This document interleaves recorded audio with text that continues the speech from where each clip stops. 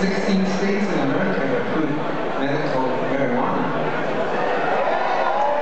Or have I said too much?